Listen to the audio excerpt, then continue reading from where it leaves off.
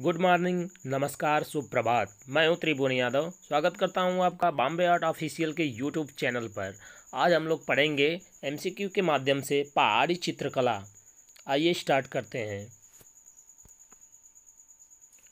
चित्रकार, मानकों द्वारा चित्रित ग्रंथ है। तो ये ग्रंथ है गीत गोविंद।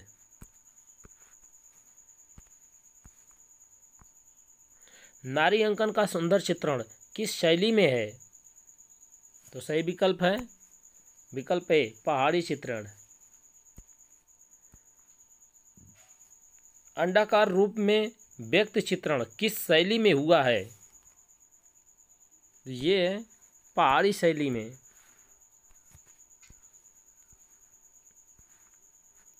कांगड़ा शैली में कितने प्रकार की नायिकाएँ होती हैं? तो सही विकल्प है, तीन प्रकार की नायिकाएँ होती हैं। कौन कौन सी नायिकाएँ होती हैं? स्वकीया स्वकीया दूसरी होती हैं परकिया पर किया। और तीसरी होती हैं, सामान्य। नेक्स्ट पहाड़ी चित्रों का निर्माण कब से प्रारंभ हुआ? तो अठारहवीं शताब्दी से प्रारंभ हुआ है पहाड़ी चित्रों का निर्माण। नेक्स्ट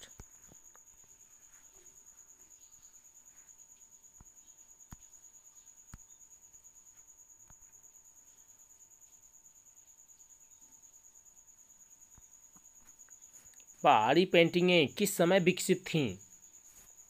तो पहाड़ी पेंटिंगें जो है, प्रारंभिक अठारह से विलंबित उन्नीसवीं शताब्दी। के मध्य जो है विकसित थी। पहाड़ी चित्रकला मुख्यतया किस क्षेत्र की है? तो ये पंजाब की पहाड़ियों की है। नेक्स्ट प्रकृति चित्रण को किस शैली के चित्रों में महत्व मिला है? सही विकल्प है पहाड़ी चित्रों के अंतर्गत। नेक्स्ट पहाड़ी चित्रों में किस रंगों का प्रयोग किया गया है? तो ये गहरे रंगों का प्रयोग किया गया है। नेक्स्ट मौलाराम कौन थे? तो मौलाराम जो है, पहाड़ी चित्रकार थे। नेक्स्ट मौलाराम कौन थे? तो ये एक चित्रकार थे। नेक्स्ट सबसे अधिक कृष्ण लीला के चित्र किस शैली में बने? तो पहाड़ी के अंतर्गत बने हैं। नेक्स्ट कांगड़ा शैली। गुलेरी शैली के लगभग कितने चित्र प्राप्त हैं, जो रामायण पर आधारित हैं? तो सही ऑप्शन है चौदह।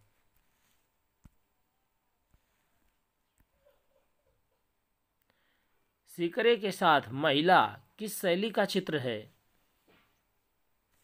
तो ये गुलेर गुलेर शैली का चित्र है। नेक्स्ट निम्न में से कौन सा राजस्थानी चित्रकला का केंद्र नहीं है? तो ये चावंड। ये राजस्थानी चित्रकला का केंद्र नहीं है। नेक्स्ट नैन किस शैली का चित्रकार था। तो ये गुलेर शैली का चित्रकार था। नेक्स्ट महाराजा संसार चंद ने निम्न में से किस शैली को संरक्षण दिया? तो सही विकल्प है पहाड़ी शैली को। नेक्स्ट महाराजा संसार चंद इस शैली की चित्रकला के महान संरक्षक थे। तो वो था कांगड़ा शैली। नेक्स्ट कांगड़ा चित्रशैली किस राजा के समय विकसित हुई?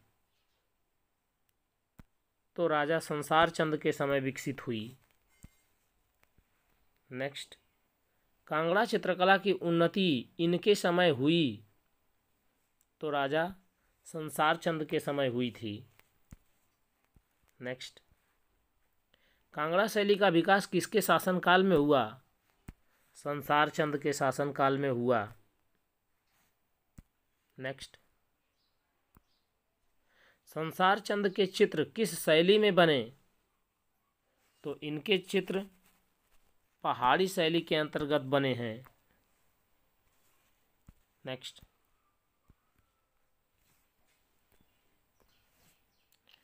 महाराजा संसार चंद द्वारा किस शैली को संरक्षण मिला? तो पहाड़ी शैली को संरक्षण मिला। नेक्स्ट कांगड़ा किस चित्रकला की शैली है? तो कांगड़ा पहाड़ी चित्रकला की शैली है। नेक्स्ट महाराजा संसार चंद्र एक चित्र शैली के प्रमुख पोषक और नायक रहे। वह शैली कौन सी है? तो वह शैली है कांगड़ा शैली। नेक्स्ट कांगड़ा चित्रकला का दूसरा नाम है। तो कांगड़ा चित्रकला का जो दूसरा नाम है, वह है पहाड़ी चित्रकला। पहाड़ी चित्रकला को ही कांगड़ा शैली भी कहते हैं। नेक्स्ट कांगड़ा चित्रकला पर किस शैली का प्रभाव पड़ा? तो मुगल शैली का प्रभाव पड़ा। नेक्स्ट कांगड़ा चित्रकला के संरक्षक संसार चंद के कला प्रेम की चर्चा एक अंग्रेज़ यात्री ने सुंदर शब्दों में की, जिसका नाम है मूरक्राफ्ट मूरक्राफ्ट ने की। नेक्स्ट कांगड़ा शैली के चित्रकारों का प्रिय विषय क्या था? तो इनका प्रिय विषय था राधा कृष्ण नेक्स्ट कांगड़ा शैली के चित्रों में मुख्य चित्रण है। तो कांगड़ा शैली में मुख्य जो चित्रण है, वो है कृष्ण राधा के प्रेम का। नेक्स्ट कांगड़ा शैली का उत्कर्ष काल है। तो इसका उत्कर्ष काल है सत्रह सौ छियासी से 1805 ईस्वी। नेक्स्ट कांगड़ा चित्र शैली का प्रमुख चित्रकार कौन था? तो ये था कुशनलाल। नेक्स्ट कांगड़ा शैली के चित्रों के विषय हैं। तो इनके जो विषय हैं, वो रागमाला भी है कृष्ण लीला भी है, नायक नायिका भी है, अर्थात उपरोक्त सही, ये विकल्प सही है। कांगड़ा चित्रकला का विषय नहीं है। तो इसका विषय जो है, पंचतंत्र नहीं है। नेक्स्ट पहाड़ी स्कूल, कांगड़ा स्कूल एवं राजपूत स्कूल आदि का संबंध किससे है? तो इनका संबंध चित्रकारी से है। नेक्स्ट नीचे चित्रों की कुछ विशेषताएँ दी जा रही हैं। इनमें कुछ कांगड़ा की हैं। इनके नीचे दिए कूटों में से केवल कांगड़ा की विशेषता वाले कूट को चुनिए। जो कांगड़ा की विशेषताएँ हैं, उन्हीं को चुनना है। तो इनमें से सही विकल्प है विकल्प सी। अर्थात समृद्ध रंग योजना है, कांगड़ा की विशेषता। मृदु एवं अबोध चेहरे भी हैं। सुस्पष्ट मोटे एवं अलंकृत रूप भी हैं। तथा घुमावदार जो है, रेखाएँ भी हैं। नेक्स्ट। बसौली शैली। बसौली के चित्र किस संग्रहालय में सुरक्षित हैं? तो पंजाब संग्रहालय में सुरक्षित हैं। नेक्स्ट। बसौली क्षेत्र आज किस राज्य के अंतर्गत आता है? तो ये जम्मू कश्मीर के अंतर्गत आता है।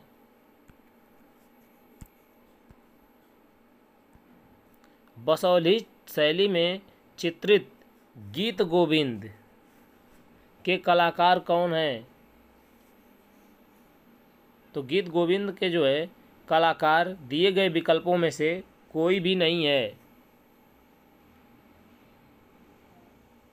क्योंकि गीत गोविंद के जो मुख्यतः कलाकार हैं, वो मानकू हैं। मानकू। नेक्स्ट गीत गोविंद के चित्र किस शैली में बने हैं? गीत गोविंद के जो चित्र हैं, वो बसौली शैली में बने हुए हैं। नेक्स्ट लोक कला पर कौन सी शैली आधारित है? तो लोक कला पर बसौली शैली जो है, आधारित है। नेक्स्ट पहाड़ी चित्रकला में रस मंजरी का अंकन किस शैली में हुआ? तो सही विकल्प है, बसौली शैली में हुआ था। नेक्स्ट कंपनी स्कूल, अर्थात पटना कलम शैली। पटना कला शैली का विकास किन दो कला शैलियों के सम्मिश्रण से हुआ? तो सही विकल्प है, यूरोपीय एवं भारतीय शैलियों के मिश्रण से हुआ। नेक्स्ट पटना शैली चित्रों का दूसरा नाम क्या है? तो पटना शैली चित्रों का जो दूसरा नाम है, वो है कंपनी शैली। नेक्स्ट कंपनी शैली के भारतीय केंद्रों में प्रसिद्ध है। तो ये है पटना। उत्तर भारत में कंपनी शैली का प्रमुख केंद्र था। तो उत्तर भारत में कंपनी शैली का जो प्रमुख केंद्र था, वो था पटना। पटना शैली के चित्रकारों को सर्वप्रथम किसका संरक्षण प्राप्त हुआ? सही विकल्प है, अंग्रेज़ अधिकारियों का संरक्षण प्राप्त हुआ। नेक्स्ट, अंग्रेज़ी शासन के कारण जिस नवीन शैली चित्र का जन्म हुआ, वह थी तो वह थी कंपनी शैली। नेक्स्ट कंपनी शैली का प्रारंभिक केंद्र कहाँ था? तो इसका जो प्रारंभिक केंद्र है, वो पटना में था। नेक्स्ट कंपनी शैली के प्रसिद्ध कलाकार कौन थे? तो कंपनी शैली के जो प्रसिद्ध कलाकार थे, वो ईश्वरी प्रसाद थे। नेक्स्ट लालचंद किस शैली के चित्रकार थे? तो लालचंद कंपनी शैली के चित्रकार थे। मुगल चित्रकला के पतन के पश्चात जो शैली विभिन्न केंद्रों में स्थापित हुई, वह क्या कहलाती है? तो वह कंपनी शैली कहलाती है, अर्थात पटना शैली। नेक्स्ट।